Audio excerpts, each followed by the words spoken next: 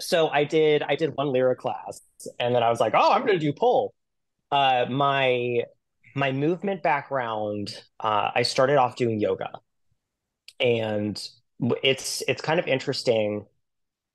I actually used to be a very heavy drinker, uh, and I used to be a smoker.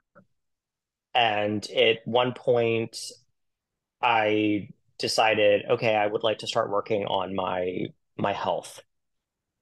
And I remember going to a yoga class, and this is after I'd started lifting weights, and I said, I'm I'm a relatively strong person. Uh, you know, I can I can lift weights. And I got I got my ass handed to me.